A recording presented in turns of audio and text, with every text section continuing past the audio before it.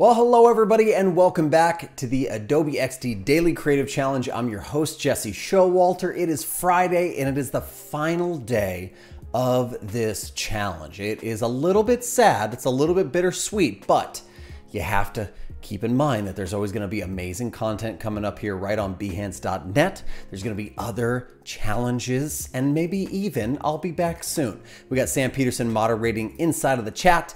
Uh, we have, let me see, lots of people joining us. Uh, is, this is Saral's first time doing an XD Daily Creative Challenge. That's super duper fun. What else do we have? Who else do we have here? Ahmed is in the house. El Eloise, what a cool name. Love that name, Eloise. Hey, let me know where you're coming from and uh, give me your weekend plans because Tia Reed is saying hello to everybody in the chat. If you're watching this over on YouTube, come on over to behance.net and join us. Just hit that little live tab and you'll be right here chatting with us. So uh, let's talk a little bit about this final day of the XD Daily Creative Challenge. What is this XD Daily Creative Challenge? Well, we have had eight challenges so far. Today is challenge number nine, last one. And if it's your first day, it's okay. You could start right now. It's okay to start with nine. You can watch all the replays of this challenge and all of the previous challenges as well like my homegirl Julia Masalska was on it with the Illustrator Challenge. You can go back and watch all her replays too. She had some great ones. Uh, Saral's coming from India. Ahmed's coming from Egypt. We got people all over the world participating. And here's what we're doing. Each day, if you scroll down right here at behance.net slash challenge slash XD is where you can sign up for the challenge, scroll down and get all the starting files for the challenge. You can hit right here on get started and that's where you can get my Adobe XD file. Uh, today, we're gonna be doing a little bit of voice trivia. Really excited about this this one. We're going to be doing using some voice commands, some audio playback, and we're going to create a fun little 8-bit uh, video game inspired trivia application. A, a, good way to figure out uh, a little bit more about the XD challenge, get more involved, is to sign up for the Adobe XD Discord. You can hit this little URL right here, bit.ly slash XD Discord. 36,000 creatives or more inside of this Discord server so we can find friendship, community, feedback, just all the fun times, fun times inside of the Discord. So make sure you jump in and be a part of that. It's also where you can submit your work from the challenge and then we'll be looking at it right here on Adobe Live. We'll be checking it out on the next XD Daily Creative Challenge. And I have some pulled up that we'll be looking at at the end of this stream. So uh, Eloise is from Brazil. We got a couple people from, from Brazil. Very, very cool. Ahmed says, finish my book. Me too. I just started a new book and I want to kind of crush through it. It's been a lot of fun reading my new book. Hey, while we're talking about reading new books and doing things and activities, let's talk about this starting file and let's start building this game out. Over here in Adobe XD in my file, a little bit of details about it, a mobile trivia game, retro style, focusing on some 8-bit video game trivia. Who likes video games? You like video games? Raise a little emoji hand. Big fan of the video games. And we're gonna be using some voice commands to display our questions. We have a little starting file. Yours should look very, very similar. I think I actually just went out and grabbed this little Donkey Kong and this little 8-bit trophy from somewhere. I don't remember where. I apologize. But I just thought I'm going to need some iconography and some fun things. I think it looks kind of fun starting out. So this is what we're going to be doing. We have our little home screen. It's actually an iPhone 11. Did you know this? If you hit A and put a new artboard on your screen, you can just hit the little flip button over here and that's going to flip the artboard to be landscape or portrait mode. So that's exactly what I did. I put an uh, iPhone Max 11 on there and I just flipped it over on its side. Pretty cool. Um, okay, uh, TSS is going to be doing some drawing. Uh, Nati is from Mendoza, Argentina. Very, very cool. And Angela, and Angela says, watching from the UK. It's Friday evening. Been totally obsessed with this challenge. My husband thinks I've gone mad. Yeah, probably have, Angela. You've gone a little crazy. You're crazy in love with XD. That's probably what happened. All right, let's get started. Uh, so what do we have uh, on our canvas so far or on our artboard? We have some icons. Let's just rename that little group right there. Icons shall we? Very cool. Inside of it, we have our two icons. We have a little repeat grid right here that has these little 8-bit hearts, and each of them are actually already a, a component. Um, so, um, and that component is made up of, of, a couple different hearts, all just stacked on top of each other to give that kind of fun holographic 8-bit style. And then we have two titles right there, a new game and a high scores. And we have this fun little grid kind of like design or decoration in the background. It's just for aesthetics, just for fun, all right? With that being said, we're going to have to create uh, some new artboards with some new assets. So why don't we do that? I'm going to head right over here and I'm going to, um, let's see, let's see, where should we start? We should start with a question, shouldn't we? Somebody should be able to press new game and go right into a question. So let's get rid of that. And I tell you what, let's go like this. Let's go level one. That's super nostalgic, right? To not call them question one, but level one. I like that. Let's put that over to the side and let's actually bring the opacity up. You have five lives in this game. That's what we're kind of going for. And why don't we ask our question right here in the color white? I'm using this fun little uh, type, uh, this, this uh, font called Joysticks. I think I got it from DaFont. I think so. It's just a little free font out there for you. And then uh, Sam Peterson has posted a link to my website. Hey, check it out. I also have a YouTube channel. I just did a live stream the other day on my own channel where I built a fun shoe app using Adobe XD. So there's more content if you're interested. Um, all right, so let's do this one. Um, we're gonna ask 8-bit trivia, but it's gonna be silly 8-bit trivia. We're not gonna, if you're like, oh, I know all the Nintendo trivia, this might not really be very, very good for you. It's going to be silly stuff like who wins, let's do in a, a fight. Okay. That's going to be the, the, the question asked, and then we're going to need some responses. Okay, so let's do this. Let's come down here and let's put Mario. Okay, and then I tell you what, I think we need to like stylize this a little teeny tiny bit, don't you? Um, okay, let's do this. We're gonna take R for rectangle. Let's make a nice big button. And, uh, ooh, this could be fun. We could have some fun with this. Let's pull our kind of fun green color. Let's save that in our swatches. Okay, let's drop it behind right there. And we're gonna make a button and I think we should stylize this button because everything's kind of 8-bit. If you're wondering, how do you stylize things and make it 8-bit? It's really just about not having perfect, you got to have a little bit of the staggery stuff. Right? You see this inside of the typography. I don't do a lot of 8-bit design, but I'm going to try some right now, doggone it. Um, oh, I have an idea. Let's just do this. I'm going to do uh, another little rectangle. Okay, I'm going to bring that rectangle up. Let's just make it a different color so we can see. And let's just square this thing out. Okay, so let's make it width of 10 and a height of 10, something like that, okay? Why don't we just do these on each corner. This will probably do it, I think. This should give us that look. So we're gonna just take that and like this top left corner one and the button itself, and let's use some of these uh, boolean, boolean, boolean, there you go, Boolean's the, the name. Pathfinder tools and Illustrator Boolean tools, depending on where you're coming from. We're just gonna take each of these and we're just gonna subtract, which means we're gonna take anything that's in front and remove it from the back. Look, it looks a little bit more 8-bit now, right? That's kind of fun. Okay, so let's take the size of this thing down. We'll do Mario. And what we need to do though is, let's line this all up and make sure it's good. Let's group it together and call it our button. And then, why don't we make a component out of it and turn on the padding. What's that going to do for us? Well, let's bring another instance out. Who should we challenge Mario to a fight with? Obviously, Peach, Princess Peach. Who's going to win that fight? We all know who's going to win. Peach is, because Mario's a straight wuss. Now, if it was Toad, he might win that fight. I'm not sure. Just my opinion. Who do you think would win in this fight? You let me know.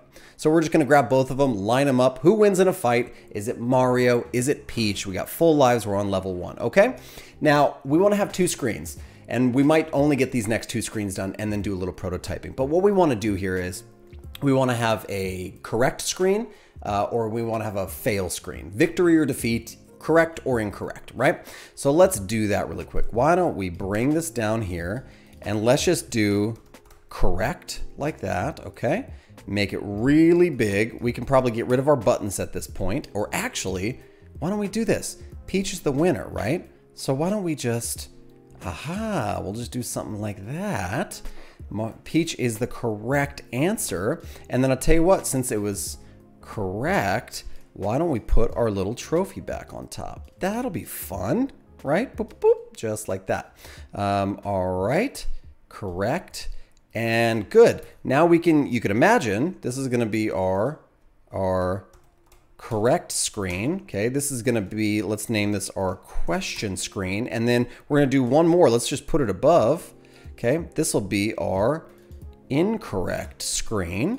And let's just bring little Donkey Kong, little Diddy Kong over here. And let's put him in the place of where that trophy was. Okay, but this time let's bring that back up. Bring this down and let's change the fill of this to be an incorrect color, like red, right? Or you know what? We might want to stay stylized and just take that pink. Ah, that's not good. We want it to be really obviously incorrect. Good, okay. Um, what color is that? What color is that red? Why don't we save that swatch right there? Okay, and why don't we make this one that color as well? Boop, just like so. Good, correct or incorrect? Beautiful, I love it. Um, and I tell you what, I'll tell you, yeah, let's just keep them. Okay, now let's do a little bit of prototyping because here's what's gonna happen. Uh, this is incorrect. We gotta make one more change here, which is we're gonna need to take this heart. Whoa, yeah, we're gonna need to take this heart right here and bring all of them down like that, like you lost all the hearts, okay? Or you lost you lost one heart. So now you're one down out of your five, okay? Um, this is a fun challenge. Kyle T. Webster says, hey, stay stay tuned, or maybe stay tuned. I actually don't know the schedule, but Kyle T. Webster's been doing some really fun drawing. So you've been drawing along with Kyle T. Webster all week. So maybe stay tuned for him. Let me know if I'm wrong about that, Kyle. I apologize, but I'm not sure. Here we go. Let's start implementing some sounds and we're gonna do something really, really cool, which is not only are we gonna use voice, but we're also gonna use tap because maybe somebody doesn't wanna use voice and they prefer to use tap. Let's do both. Let's head over to prototype, shall we? And here's the first fun thing we're gonna do. I have a little surprise for you. I'm gonna select the whole artboard, not an individual element on the artboard, but the whole artboard. And I'm gonna tap the prototype. Now what I'm gonna do is I'm gonna say, I want, uh, let's see, timed, and I want uh, a audio playback. What I'm gonna do, I'm gonna add a new file. We got some fun music here. How about some video game music? And it has a zero second delay, so it's gonna start instantly. That's just a little timed function for us. Let's see if I can turn my volume up and hear some music. Ready?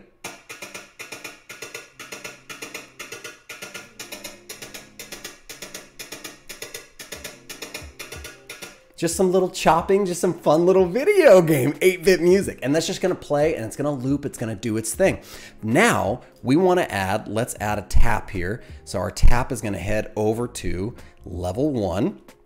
Okay, question one, level one. So on tap, let's just do a simple transition, shall we? I mean, we don't have to get all auto animated always. Sometimes a simple transition works. We're gonna head over to question, that's our destination there. And then we wanna just slide left. Let's just slide on over, right? We're gonna do a little snap with our slide. And I tell you what we're gonna do, the same thing. We're gonna grab our entire artboard. We're gonna click right here. I have some fun sounds. What other sounds do I have? I have Ooh, hold on, is my volume back up? Let's try that with sound again. What do we have? I got a little kind of distortion snap. I got, I have my win sound and I have my lose sound. So how about we come over and we'll add our distortion in here. We are doing uh, time transition, zero seconds, audio playback. Let's add that new sound and it's our distortion sound effect. Just like so. Let's check our prototype, see how that's working. Okay, here we go. I'm gonna tap right here. Ooh, a little snap distortion right into the game. And now we're ready to pick up from there. Now, let's add a second prototype trigger on top of the same one, okay? So what we're gonna do is we're gonna hit another one and we're gonna do voice and we wanna put the word new game. If you haven't done a lot of voice triggers, this is gonna be your first time. It's gonna be a lot of fun. Uh, and let's see, voice trigger. And on that, we want to transition over to question. And we'll just do, again, a simple slide left and snap, and it should be pretty good. Now, when we go here, I'm gonna turn the sound down just a little bit. We should be able to either tap it or hold down our space bar to recreate the feeling of speaking to our device. We'll say the word new game. We'll see if it works. Okay, let's try this. I'm gonna just I'm gonna lean in to my computer because that's where we have to do it. Ready? I'm gonna press spacebar. New game. It worked. we said the word new game and it completely worked for us. We could have also just tapped new game and it would have gone right over to our our little thing there okay?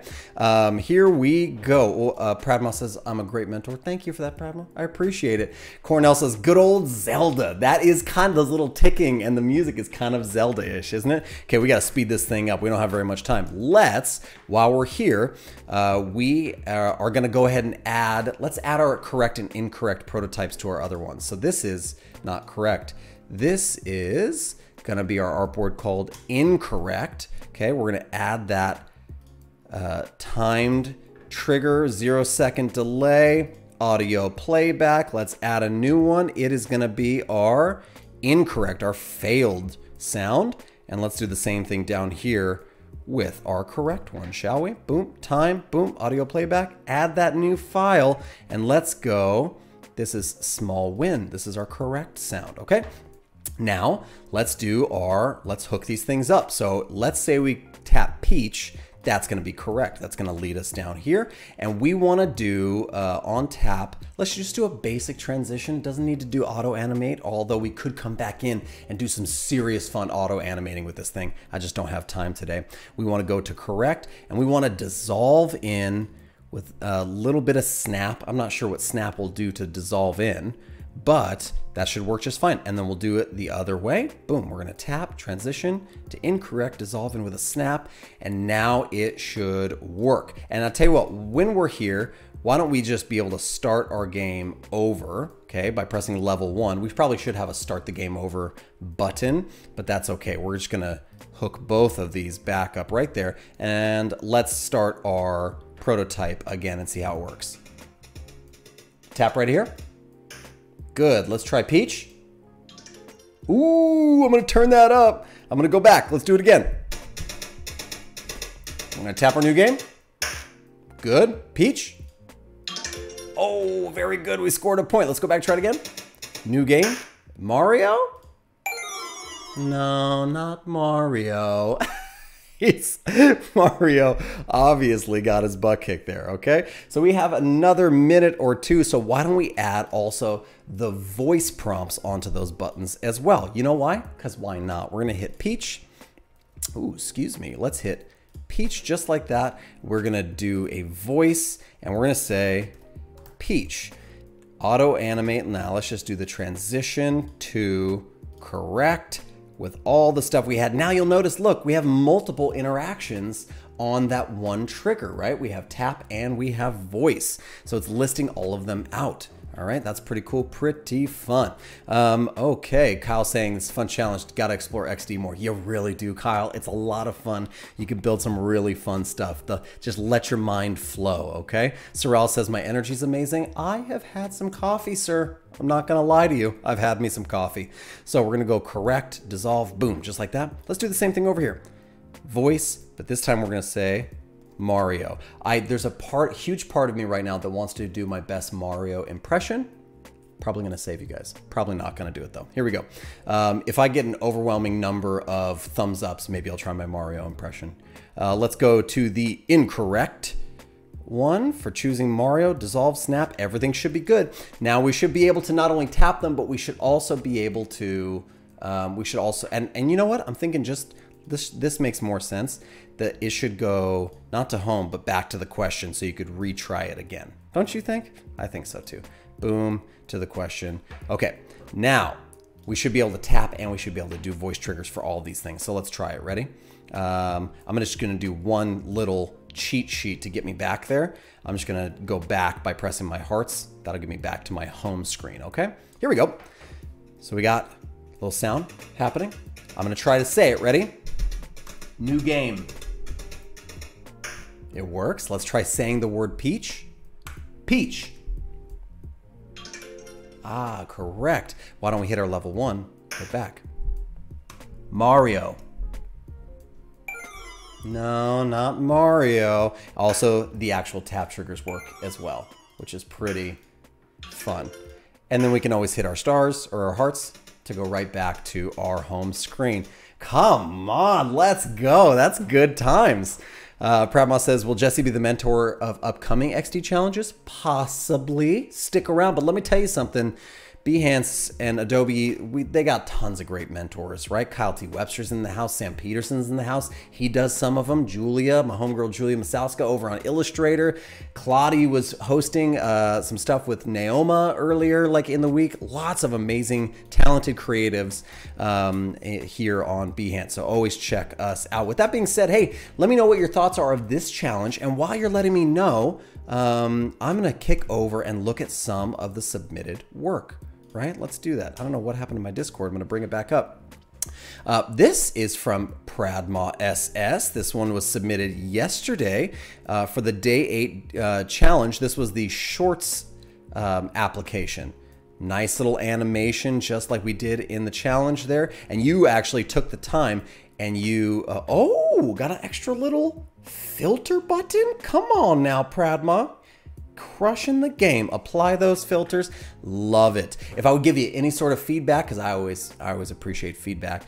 I love the little search button there. Good overlay, love it. I would just watch for your spacing and your sizing of iconography. Make sure that they're all a similar uh, width and stroke and weight, right? So we see these, ooh, I'm gonna zoom in a little bit for you. So this little cart button right here, cart icon's really thick in comparison. That's just a consistency thing. It helps with the experience and makes it feel nice, but I love the animation. I love the work. It's really, really nice. Keep up that good work. Uh, this one is from Ahmed so, who I think is also in the chat and just gave lots of thumbs up. He wanted to hear a Mario impression. Ha ha! It's Mario! That's me doing it that way because I'm too embarrassed to face the camera while I do it. Here we go. Uh, welcome to Book Haven. Okay, let's see what we got. Gonna click go. Very nice. Into the interface. Oh, I see you got a little animated thing there. This is kind of building off of our shorts challenge, but you did it with books instead. Really love it. The, the only maybe feedback I would give you, because I think all the animations and everything are working really, really well in this, I would watch out for contrast and legibility. So let me just go back and point out what I mean here with this. And this is always a good kind of design principle to, to to keep in mind for all of your design work. So the the books that are here have the same book in the background, just like we did with the shorts, but they're a little too overpowering. So you maybe want to knock down some of that, uh, give it a little opacity, bring that opacity down so that we can focus more on the book here and not necessarily the texture or pattern or image in the background. So maybe play a little bit with that. I think books have so much um, so much interesting stuff on the cover. You can read a book or judge a book by the cover when it comes to actual books. So they're so interesting. You might want to just, instead of having the background image, maybe just do the book. Um, and, and that might be enough, maybe. But I think really nice work, really good stuff. This one's by Mo, and Mo did uh, the same thing, the Shortsy app yesterday. Got a nice little animated thing happening there. He adds some more details to look at that, being able to change the size. Nice animated button. I love that. It's definitely a component state animation. Beautifully done. I would, uh, if I was going to give any sort of constructive criticism or feedback here, I would say watch out for these areas that I'm not sure if that is a button um, because it looks very similar to your input field. So input fields should look like input fields, buttons should look like buttons, and they should look distinct from each other. Keep that in mind. That'll help just lead the user and guide the user on a much more beneficial journey. They'll enjoy their time in your interface so much more. But the animation, super sick. The extra details, the animation to the component and the button, so nice. I love it. It's really, really good. Nice work, everybody. Well, with that being said, I just want to flash this one up there one more time. Make sure that you sign up for the Discord, bit.ly slash xd discord. Make sure you get inside of that community, post your work so myself, other mentors, and people at Adobe can take a look at it. Thank you so much for joining me for these last two weeks of the Adobe XD Daily Creative Challenge. It has been a ton of fun. Thank you, Cornell, for being here the whole time. Ahmed, Saral, and Mo for your great work. Tiago and uh, Sam Peterson for moderating. You guys have been absolutely fantastic. Um, Oh yeah, maybe maybe Mo change it to an outline. Just have it be nice and subtle on that input field. That'd look really really nice. Um, Saral says my impression was amazing. It might have been. I don't know. I probably won't do any more though. I'm not really big on doing that. but like Sam Peterson just posted in the chat, look for those links, sign up for the challenge, and there's amazing content every week here on Behance. So definitely stick around for some more stuff, more great stuff happening today. And then coming bright and early Monday morning, there'll be more challenges for you to take part in. With all that being said, aloha, everybody. Have a fantastic weekend. Have a little bit of relaxed time and challenge yourself to design some amazing things. See you next time.